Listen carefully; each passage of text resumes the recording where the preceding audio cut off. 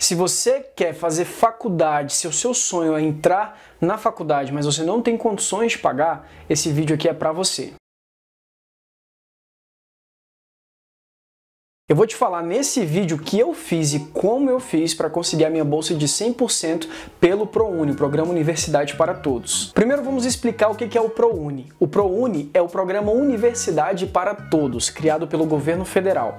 Ele concede bolsas integrais, ou seja, de 100%, e bolsas parciais, de 50%. Lembrando, o programa ele é destinado apenas a faculdades privadas, a universidades privadas. Universidades públicas é outra seara que a gente vai tratar em outro vídeo. Agora nós vamos falar apenas sobre o ProUni. Outra coisa importante, a gente não vai politizar esse vídeo. Não quero saber quem criou o programa, quem deixou de criar, se é bom, se é ruim, se é de direita, se é de esquerda. O que a gente vai falar aqui é que é um programa que pode conceder uma bolsa, que você vai conseguir uma bolsa para entrar na faculdade. Para passar no ProUni, existem alguns requisitos que eu vou te passar nesse vídeo, então anota aí. Primeira coisa que é muito importante você saber, né? O ProUni, para você aplicar para o ProUni, você precisa ter feito o Enem mais recente. Isso quer dizer que agora, por exemplo, agora nesse ano que nós vamos ter o Enem de 2020 em 2021, você tem que fazer o Enem mais recente, que vai ser esse que vai ser aplicado em 2021, para você se inscrever no ProUni 2021. E assim que você receber a sua nota do Enem, né, depois que você faz a prova saem as notas, obviamente, vão abrir também as inscrições para o ProUni logo em seguida, e aí você pode aplicar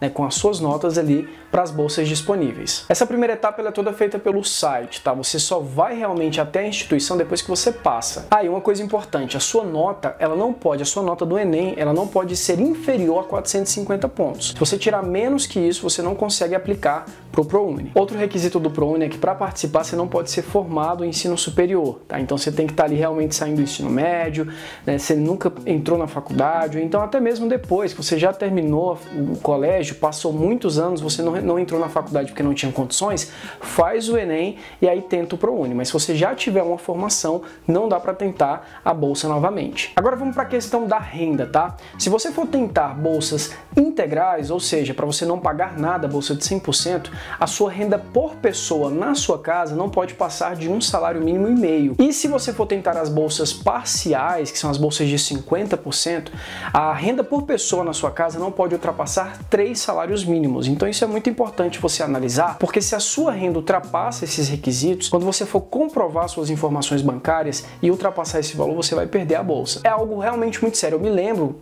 eu estudo na Universidade Católica de Brasília e quando eu consegui a minha bolsa, eles pediram extratos bancários de todos os membros da minha família e quem não tinha conta na minha casa, eles pediram para fazer um documento atestado em cartório de que não tinha conta, de que não tinha movimentação bancária. Para vocês verem que eles realmente levam isso muito a sério. Então você não pode realmente, ah, vou colocar aqui para ver o que dá. Eles vão te exigir diversos documentos. Se eles descobrirem que você não está autorizado a conseguir aquela bolsa, mas mesmo assim está tentando, você pode até mesmo perder a oportunidade de conseguir a sua bolsa. Então realmente não vá se você não estiver cumprindo com os requisitos. E tem outros requisitos também do programa que estão bem claros lá no site, estão bem explicados lá no site. Eu vou deixar o link para você aqui na descrição. Entra lá e dá uma lida. É muito simples, tá? O site do ProUni é bem claro. Meu objetivo vai lá e tira suas dúvidas. Agora vamos lá, o que, que eu fiz para conseguir a minha bolsa de 100% no ProUni? E se você pegar essas dicas que eu vou te falar agora, eu te garanto que você também pode conseguir, tá? Porque deu certo para mim, eu saí da periferia, gente.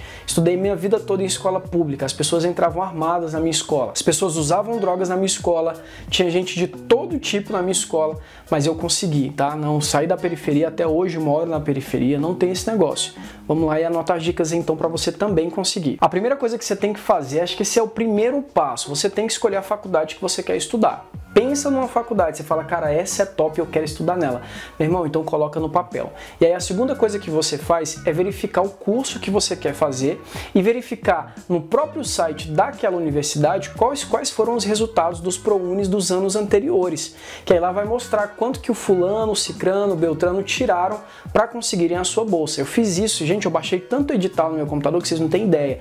Baixei edital de resultados anteriores para ver quanto que as pessoas tinham tirado para conseguir a bolsa de de 100%. E eu falei, cara, eu tenho que focar nessa média aqui, eu preciso tirar essa média no Enem. Segundo lugar, né, o primeiro lugar é você olhar a faculdade e o curso que você quer e verificar quais foram os resultados anteriores. E em segundo lugar, você tem que traçar um planejamento para estudar e conseguir aquela média. E aí dentro dessa dica, eu te indico a fazer simulados para você ver como que está o seu nível, tá? De como que está o seu nível ali. Você pode fazer simulados na internet, eu vou deixar o link de um simulado aqui para você fazer e ele vai te dar quanto que você tiraria no ENEM se você fizesse o ENEM hoje. E nesses simulados você vai medir a sua, você vai medir a sua capacidade realmente de chegar no dia da prova e fazer uma boa prova. E eu vi que eu estava muito mal, gente. Meu ensino foi muito ruim.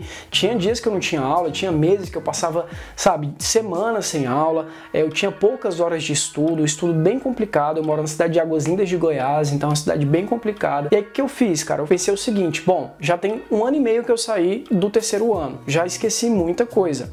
E eu tenho seis meses até a próxima prova do Enem. Então criei um planejamento de seis meses com as matérias que eu iria estudar todos os dias para que eu tirasse a média que eu precisava para cursar publicidade e propaganda, que era o curso que eu queria lá na Universidade Católica de Brasília. E eu lembro que a média mais ou menos que eu precisava tirar era 670, 680. Não, e eu lembro que as médias que eu estava tirando no simulado estavam abaixo disso. Então eu estava péssimo, precisava melhorar. E aí o que eu fiz? Eu saí do trabalho, eu tinha um dinheiro guardado, eu saí do... Não tô falando para você fazer isso, tá? Pelo amor de Deus. O que eu fiz? Você não precisa sair do trabalho, você pode se organizar, mas eu achei que era viável porque eu tinha uma poupança. E aí eu peguei minha poupança, saí do trabalho, fui fazer um, um pré-vestibular, um cursinho pago primeiro, um cursinho medicina pago, eu tinha um dinheiro guardado, fui fazer esse cursinho pago, depois o dinheiro acabou, fui fazer um cursinho gratuito, um pré-vestibular gratuito e passava o dia todo na biblioteca. Então eu estudava, fazia exercício, fazia, fazia redações e eu sabia que o meu diferencial ia ser na prova de linguagens, tá? Ciências da natureza e matemática eu ia mandar mal, eu sabia disso. Então foquei na prova de linguagem, eu queria realmente acertar grande maioria daquelas, daquelas questões e tirar uma excelente nota na redação. E é muito ruim, né, gente? Você passa ali diversos anos, mais de 10 anos da escola, e aí você tem que recuperar tudo que você não aprendeu em seis meses. Foi o que aconteceu comigo.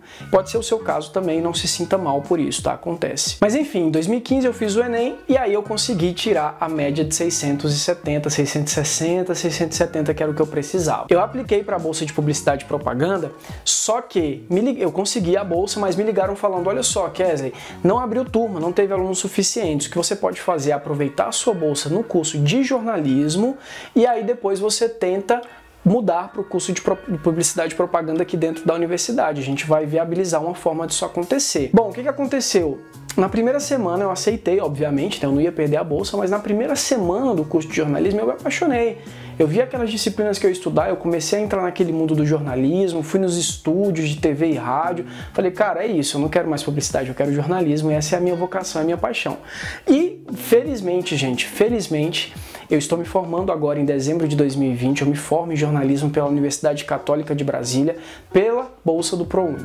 Tudo isso graças a um empenho, graças a um esforço que eu apliquei, seguindo esse passo a passo que eu falei para vocês, tá? Uma coisa que é importante, gente, não existe planejamento perfeito, tá? Se alguém vem um youtuber aí e fala, olha, tem um planejamento aqui de estudos que é matador, Cara, o que, o que é bom é o que funciona para você. Se você fala, cara, eu só consigo estudar 3 horas por dia, tá bom, estuda 3 horas. Daqui a um tempo você acostuma e você vai estudar mais, depois estudar mais, enfim. Vai no seu ritmo, no seu tempo, desde que você realmente consiga cumprir com o seu cronograma. Se você quiser que eu faça um vídeo explicando como que eu montei o meu cronograma e o que eu fiz para cumprir com o meu cronograma, né? Porque o mais importante do que fazer um cronograma é cumprir com ele, deixa aqui nos comentários. Faz o cronograma, Kes Wesley. E aí eu vou fazer um vídeo explicando para vocês como que eu fiz esse cronograma de estudos, tá bom? E é isso, gente. Eu realizei esse sonho, vou me formar, não paguei nada na faculdade, você também pode chegar lá. Acredite, acredite em você. Você também pode chegar lá. Se você gostou desse vídeo, já sabe, deixa o seu like. Se você não gostou, deixa o seu dislike. Não tem problema, eu vou entender.